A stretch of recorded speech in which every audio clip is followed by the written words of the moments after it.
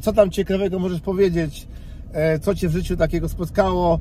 Co no, w pamięci tak utkwiło? To śmiesznego, dziwne sytuacje życiowe, nie wiem, ogólnie podejrzewam, że no takie miały miejsce, nie? Pierwsza taka styczność moja tutaj z Anglią, jak przyjechałem 9 lat temu, to bardzo mnie zdziwiło, na przykład idąc do sklepu, dużo ludzi w szlafrokach, w krótkich spodenkach zimą, minus 2 się rzadko zdarza, te 0 stopni, 2 stopnie, Tak. to widzę gościa na przykład w krótkie spod- spodenki, klapki, a widzisz go, a widzisz go latem, to on idzie pasy. Majster, kurde, piszczy, piko, zaraz za nami jadą.